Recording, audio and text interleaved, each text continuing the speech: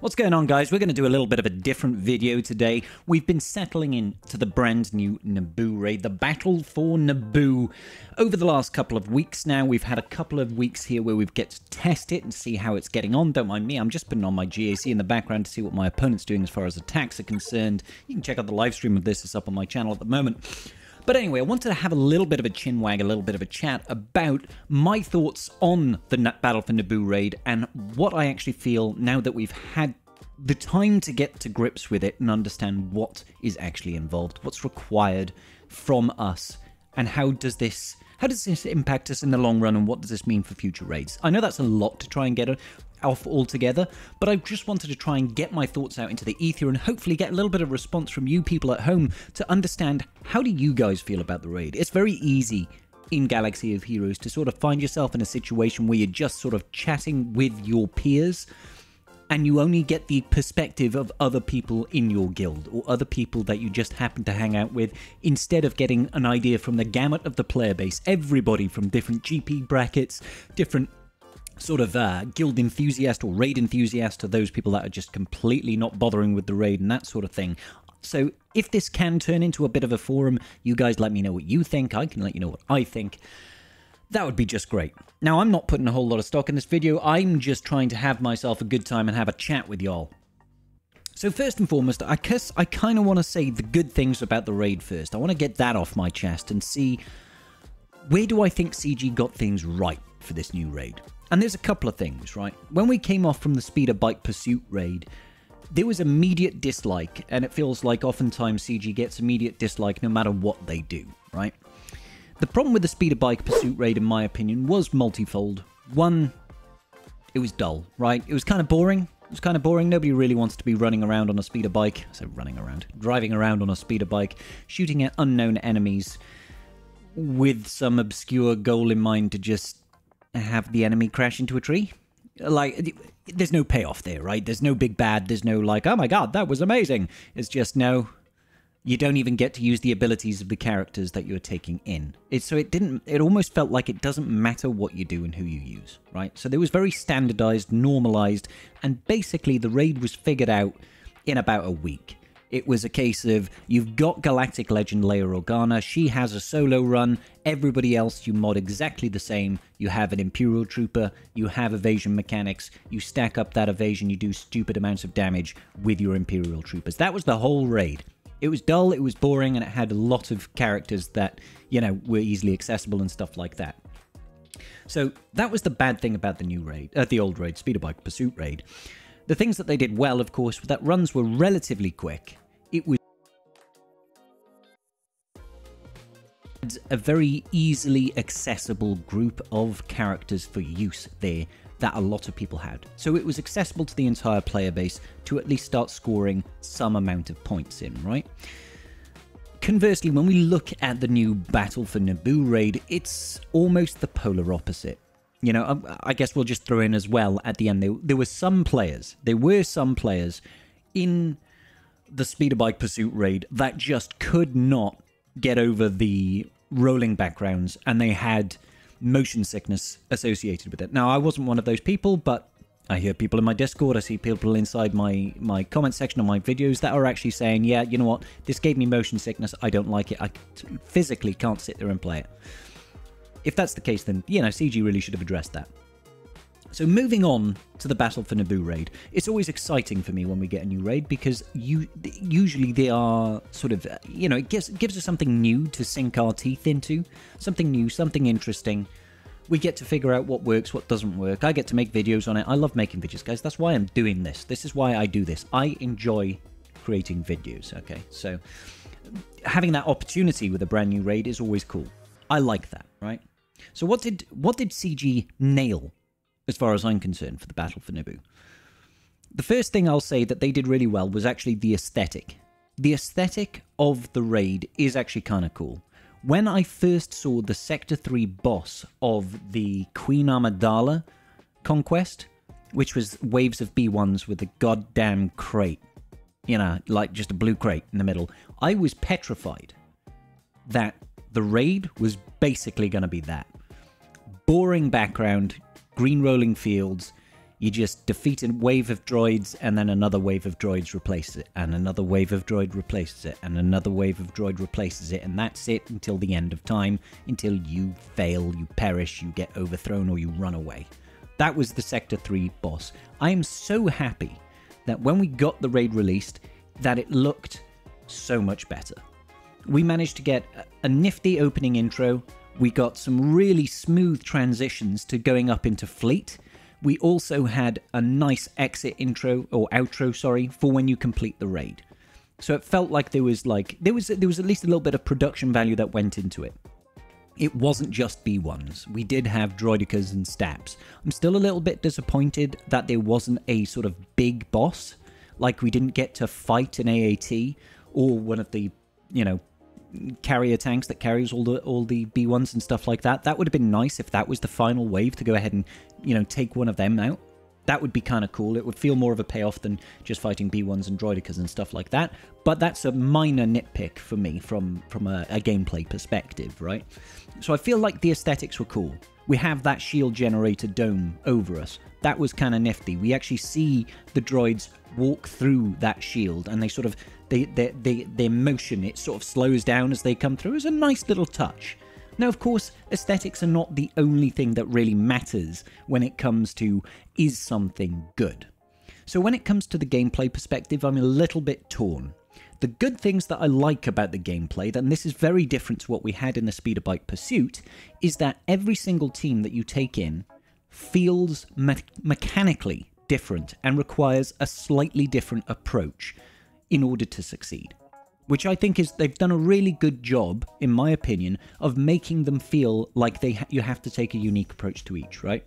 So you look at the Queen Amidala trio. It's all about trying to set up a nice big AOE with Padawan Obi-Wan. Make sure he's got, you know, some heal over times. Make sure he's got that advantage. Time the attacks. Time when you use your specials. Try to set it up with Master Qui-Gon Jinn's second special to give Padawan Obi-Wan an additional 30% offense before he uses his AoE.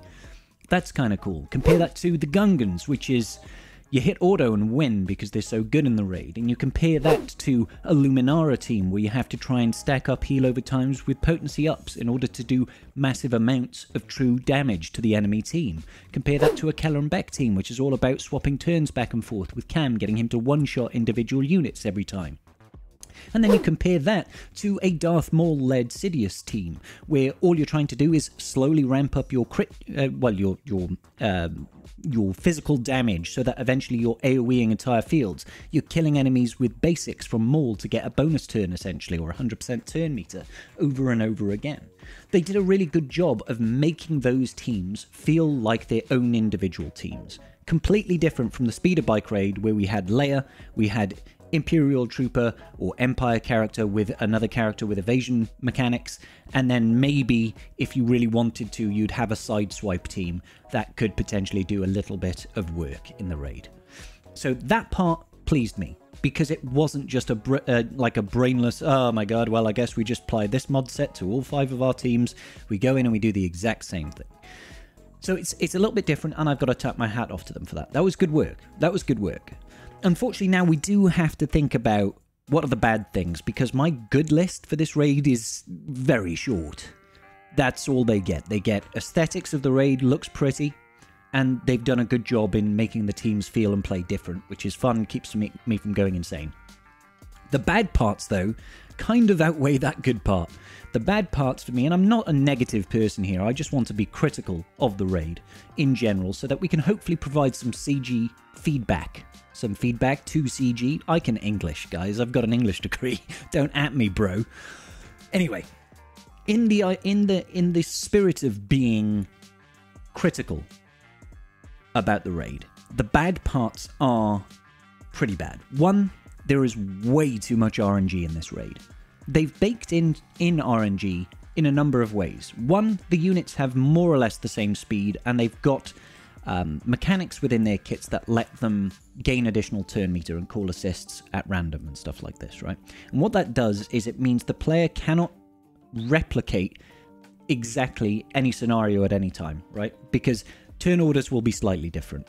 There's also RNG baked into the command droid's unique ability. They gave them two. One of them is called Quick, I believe, and that gives them um, lets them generate turn meter when you generate turn meter, and lets them heal protection and health whenever they attack out a turn or something like that. Can't remember. It doesn't even matter. Yes, I've got a bunch of raid videos. You can check out the playlist linked in the description down below. Um, and then they've got the charge mechanic, which is the other one. Now, eh, bosses or the waves after the first two waves will randomly assign one of those two, um, one of these two special abilities to the command droid. So that RNG is baked in. Now, the charge mechanic, in my opinion, is awful. It's terrible. It is like run destroying. What the charge mechanic does is essentially after every one of the player's turns, a random unit on the enemy team will take a bonus turn. So it's a ra- it's another there's the the RNG around, you know, what special ability does the commander droid provide everybody? Then there's RNG around if it's the charge mechanic, who gets the bonus turn? And that can completely ruin runs because it could go to a Droideka, and Droideka will get damage immunity, and you can't get rid of it for a certain number of turns. Or it could go to the command droid, and the command droid will strip off all your buffs and completely ruin your damage output on your Luminara team, for example, or on your Padawan Obi Wan team, for example. And that bonus turn mechanic as well, if it comes out in the later waves, it means that a bunch of the enemy takes a bunch of turns and then they generate a bunch of turn meter and then your enrage meter is completely shot. I don't mind raids being difficult, but I, do, I feel, and I feel like I'm not alone here, the player shouldn't have to suffer a loss because of RNG rather than because they played the raid incorrectly. You know? If you are playing correctly and RNG is just getting in your way, that's very frustrating. Now, if you combine these RNG elements with the fact that each run can take 6 to 10 minutes long to complete, if that RNG factor is dialed in so heavily like it is now, it means that sometimes players can spend, and I joke not, several hours trying to get their runs done if they want to try and max score. And unfortunately, for a lot of people, and I can completely understand this, their enjoyment levels of running the raid is going to diminish rapidly if they feel like they are getting cheated out of a win. And that's just not fun. It's just not fun. And this is ultimately a game, and people play a game for either masochistic reasons, and let's face it, we're all masochists here, or to enjoy themselves and get away from the humdrum of everyday life.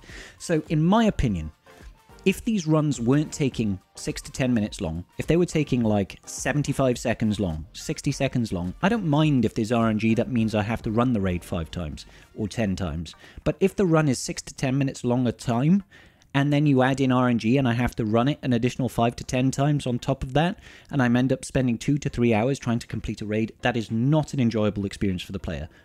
We spend enough time as it is doing things like TB and Conquest and going through GAC and stuff like that, we do not need extra hours of time spent running through the raid.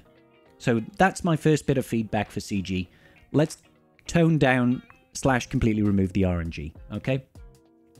Secondly, time consuming as well. We really do not want a high level of, of time consumption with this raid. I don't mind if I have to spend half an hour to an hour doing my raid runs once every six days. That's okay by me. Of course, your mileage may vary depending on your position for the raid. The last thing that might be a little bit of a personal use case for me is when this raid was coming out, they announced that we were getting a new tier of difficulty that will allow us to score higher points. We got the Relic 9 tier, which has never existed in a previous raid. So you could go in with a Relic 9 team, you can get an extra 900,000 points on the top end. You can get 3.6 million for a single team run instead of 2.7 million, which is great in context. It's like, okay, yeah, cool. It means we can we can more easily get the top end rewards and stuff like that. And that's very well and good. The problem is is they didn't adjust the raid rewards to be commensurate. Relic 9 is still incredibly difficult and out of reach for most players to obtain. I am a late game player I'm I would call myself very late game, broaching on end game player at this point, and I've got about 18 or 19 relic nines, and that is more than most players in the game. It's probably more than 99% of the players in the game, and for most people, they're not going to look at this raid as an opportunity to spend three relic nines when they don't have Leviathan and they don't have Profundity and they don't have Galactic Legend of Ahsoka that's coming out soon.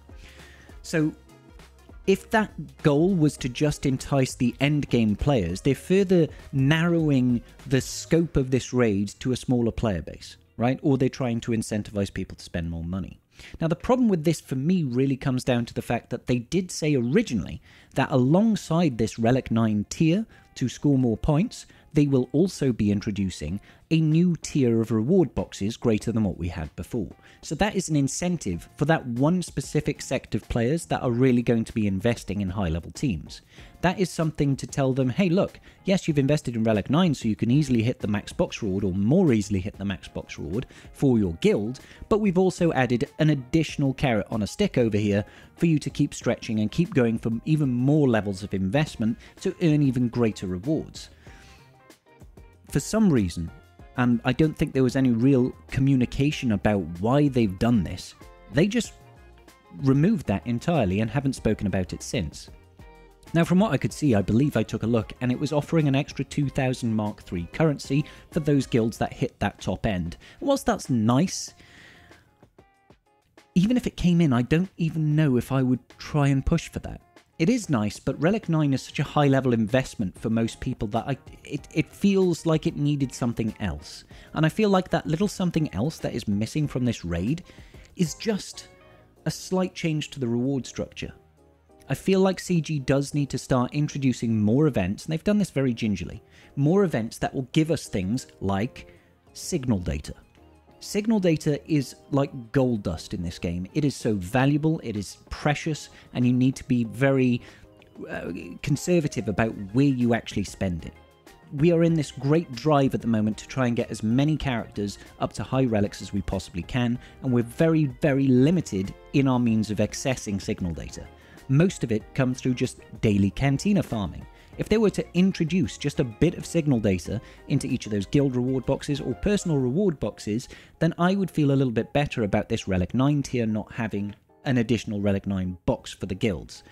It just feels like something is missing. CG is asking us for more investment, high, a drastically higher level of investment. Relic 9 is no joke, without actually giving us anything extra in return. It's just, oh, you're able to hit that max box a little bit easier. Now, I will say that they did release the Duel of the Fates Salt Battle, which is incredible and does hit a number of those points. You get Gerda keypad, keypads for one. That's one of the random items that you can get in the Relic 9 tier. You also get signal data and relic materials and all this sort of good business. And that is fantastic. And it really does encourage characters and players to invest in these brand new characters like Padawan Obi-Wan and Master Qui-Gon Jinn, and I recommend everybody do that. But why wasn't this part of the raid reward structure? Why didn't we get it there? Even if it was at this new box tier or however they wanted to disseminate it. I do feel like that this is a missed opportunity from CG. One final thing is my recommendation on how CG should potentially or could potentially change this to make it a little bit more player friendly. First and foremost, let's dumb down that RNG. Get rid of the charge mechanic entirely. If you want to introduce something else, bring in something else that's not nearly as detrimental to a run. I don't mind it making the enemies hit more I don't mind them having slightly more speed, but making them more survivable and having them take boatloads of additional turns and adding additional layers of RNG to further confuse is not an enjoyable experience for the player base. Let's go ahead and get rid of that and bring in something that actually makes the gameplay more fun rather than something that frustrates. We don't want frustration, we want enjoyment. Secondly, what I would like to see is I would like to change the way that they interact with the fleet. It's very cool when we get to go up into the uh, into the starship and we get a little bit of an animation. We take down various elements. Okay, so you know you can disrupt the communications for that run, and then it gets rid of the commander droid's unique ability for that for that wave of battle. Right? How about this? Instead of having it just be once every three rounds, you go up into ships and then you do one move and it does something for that wave and you move on. Change it to an alt meter, similar to how Leia was in the previous raid. You hit Ultimate. Ultimate lets you choose when to activate to go up into fleets. So you could save it if you want. If you have a wave and you're like, oh, it's not the charge wave, I don't mind. I'll save this for now. I'll do it later. Or it's an early wave. You're like, I don't want to use this wave 3. I'd rather use this on wave 5 and then 6 and then 7. Let us save it and use it at our discretion. Secondly, if you want to keep the charge mechanic in there, make the abilities, like Disrupt Communications, permanently remove that ability for the rest of the raid. If that is deemed too strong, then change the abilities of the fleet mechanics to give us permanent bonuses throughout the battle. That's how it should work. If you've destroyed the communications tower up in the Trade Federation capital ship, why would that only work for one turn? It should be for the rest of the raid because it is still destroyed. You've destroyed ships, you know, you've done all this sort of business. Give us permanent buffs so it feels like as you are progressing through the raid, you yourself are getting more powerful.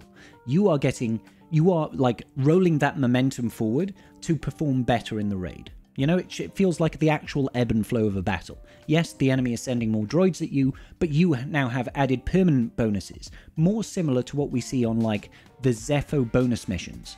The Zeffo bonus planet uh, combat missions. You know, you go in there, you've got that unique ability that you can apply that lets you ramp up mastery, and you can get three stacks of it, and then it goes to the whole team. Do something like that. Make it feel like we are gradually getting better, rather than, oh, I'm just using this ability for this one turn that might help me out against this particular comp. Make it feel fun and engaging. Let us choose to be able when we want to activate that. Give us a little bit more autonomy, I feel. I think with those two things, the raid would be a heck of a lot more enjoyable for the player base. The last thing that I would suggest, and this is more aimed towards the early player base experience, is it feels right now, from what I've heard from, you know, my communities and other content creator communities, is that the early game rosters are having a very hard time scoring any points at all. Just because the lower tiers are far too difficult to actually score any points. So my recommendation there is either for CG to to taper that difficulty just a little bit easier on the lower tiers so that players can actually engage. Maybe just remove all the command droid bonuses in totality from the early droid, like the literally the bottom tiers, so people can at least start going in and getting a couple of hundred thousand points in this raid, or create a tier even lower that is just very easy and only offers maybe a maximum of 100,000 points if you full clear. Just let players from all skill points and all roster developed points actually engage with this raid and start earning some rewards. Because it's very disheartening to a player if they cannot do anything at all because there's too much recovery on the enemy team. They have to wait until they've got some relict characters. Anyway, that's my thoughts, guys. I know I've rambled on here for about 20 minutes and probably made no real sense. This is just a different sort of video where I'm just trying to get my thoughts out into the ether and garner a little bit of feedback from yourselves. So I would really, really appreciate if you just took the moment to go to the comments section and let me know what your thoughts are about the raid and try to be critical about it. Don't just yell, this raid is trash. I hate CG. Fire and pitchforks! If not, maybe just leave your favorite emoji so I can, you know, have a good time. Anyway, guys, until the very next video, peace out and may the force be with you.